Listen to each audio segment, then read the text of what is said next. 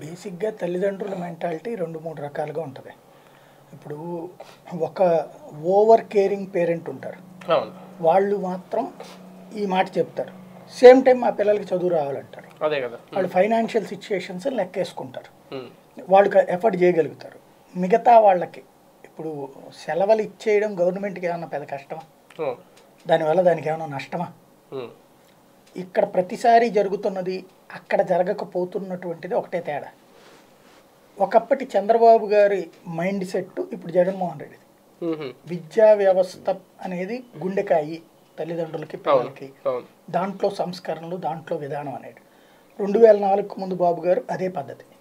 అందుకనే ఆయన అంటే అందరికి అభిమానం. కార్పొరేట్ ఎడ్యుకేషన్ పుట్టింది ఆయన టైంలోనే. ఆ ఎడ్యుకేషన్ని ప్రైవేట్ కార్పొరేట్ ఎడ్యుకేషన్ ఎందుకు ఎంకరేజ్ చేశారు అంటే ఎఫర్డబుల్ కెపాసిటీ ఉన్నటువంటి వాళ్ళు మరింత గట్టిగా చదివించుకోవడానికని. అంతే కదా తర్వాత అది వంకర్లో పోయింది అది పక్కన పెడితే బేసిక్గా ఆయన మైండ్ సెట్ ఎడ్యుకేషన్ అనేది లైఫ్. చదువుకోండి ఎదగండి ఎదగండి ఎదగండి ఎదగండి అని.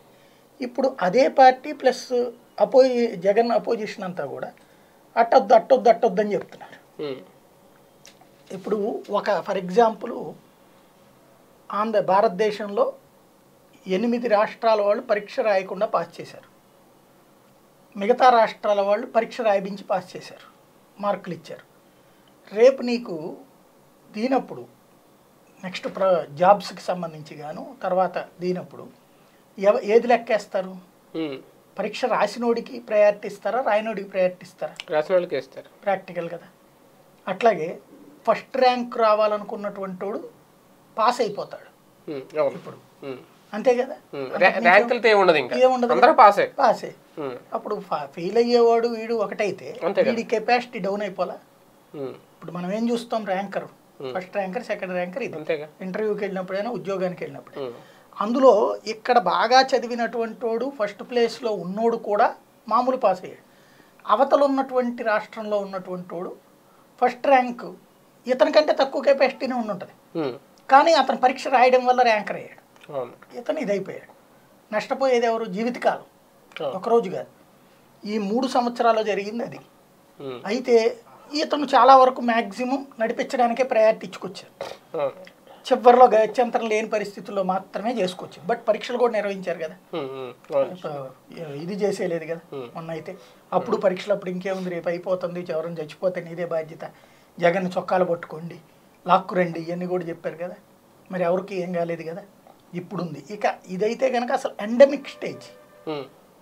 ఇవాళ దీంట్లో కేసులు లక్ష ఏంటి రేపు పొద్దున కోటి అయినా ఆశ్చర్యపోనక్కర్లేదు ఉమ్. దేశ ప్రప దేశవ్యాప్తంగా.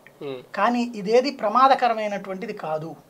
ఇది ప్రధానమైనటువంటి ఇది కేవలం జలుబు మామూలుగా మన పిల్లలకు వచ్చే జ్వరము జలుబు లాంటిది మాత్రమే. అది పిల్లలకు కూడా అంతే. ప్రాణాంతకం అవుతున్నటువంటి పరిస్థితి ఎక్కడా లేదు. అలాంటప్పుడు మెజర్స్ తీసుకోమనాలా నడవనియాలి. ఇక్కడ ఒక విచిత్రం ఏంటంటే తెలంగాణలోని పోస్టింగులు చూడండి అక్కడ ఉన్న పొలిటికల్ పోస్టింగులన్నీ కూడా. చాలా మంది పిల్లల జీవితాలతో చెలగాటమాడుతున్నావు నువ్వు. బార్లకి వైన్ షాపులన్నీ తెరిచి ఉంచి మాల్స్ అన్నీ తెరిచి ఉంచి స్కూళ్ళు మూసేయడం ఏంటి అని అడుగుతున్నారు అక్కడోళ్ళు. మనోళ్ళేమో స్కూల్ పిల్లల జీవితాలతో చెలగాటమాడుతూ ఉంటారు స్కూల్ మూసేయమంటున్నారు. మూసేయమంటున్నారు. అక్కడేమో మూస్తేనే తెరవమంటున్నారు ఇక్కడేమో తెరిస్తేనే మూసేయమంటున్నారు ఇదేం వింత రాజకీయ కోణంలోనే ఉన్నాయి వీళ్ళ ప్రకటన